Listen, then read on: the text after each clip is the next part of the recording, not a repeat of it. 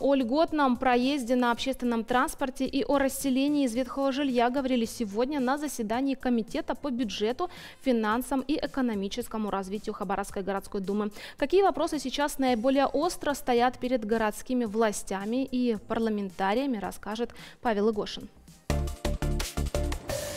Звон монет в автобусах, троллейбусах и трамваях звучит все реже, но и без лишнего шума. Общественный транспорт на слуху. С недавнего времени пассажиры могут сэкономить на проезде с помощью карт национальной платежной системы «Мир» любого банка. Скидка составляет 5 рублей. То есть если у нас на транспорте, город-транспорте стоимость билета 26 рублей, то фактически пассажир имеет возможность проехать за 21 рубль. Если у нас на коммерческом транспорте 30 рублей стоимость проезда, то он фактически ездит за 25 рублей. Акция действует до 31 декабря. О приятных новостях говорят на заседании городской думы. Однако не все нововведения так быстро набирают ход. С социальными картами для льготного проезда пенсионеров в общественном транспорте процесс тормозится уже больше года. Хотя один из путей решения проблемы намечен. Помочь сдвинуть дело с мертвой точки способна все та же платежная система МИР. В ближайшем будущем все вот эти социальные э, карты, которые выданы да, пенсионеров, ну,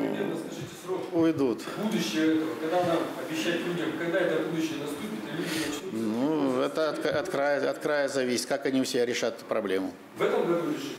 Никак я за них не могу ответить. Другой сложный вопрос о сокращении жилищного фонда, непригодного для проживания Департаменту муниципальной собственности. В 2020 году нужно расселить 186 человек. Из них 144 уже получили жилье. Программу удается выполнять со скрипом. Средств, выделяемых из бюджета Хабаровска, недостаточно, чтобы массово проводить закупки квартир, которые будут подходить по цене и площади. Отсутствие предложений по продаже квартир обусловлено низкой стоимостью одного квадратного метра, ниже рыночной от 30 до 50 процентов на одно-двухкомнатной квартиры. В связи с этим в начале года направлялись обращения в правительство и законодательную думу Хабаровского края о дополнительном финансировании из бюджета края на данные цели.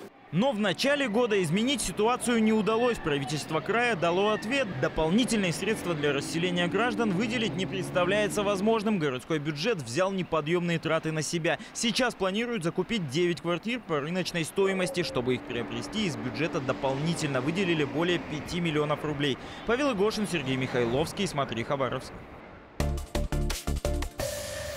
Также на заседании городской думы обсудили борьбу с незаконными рекламными конструкциями. Было внесено предложение ликвидировать их силами тех, кто размещал плакаты и баннеры. Однако его не поддержали, потому что тогда процесс демонтажа сильно затянется.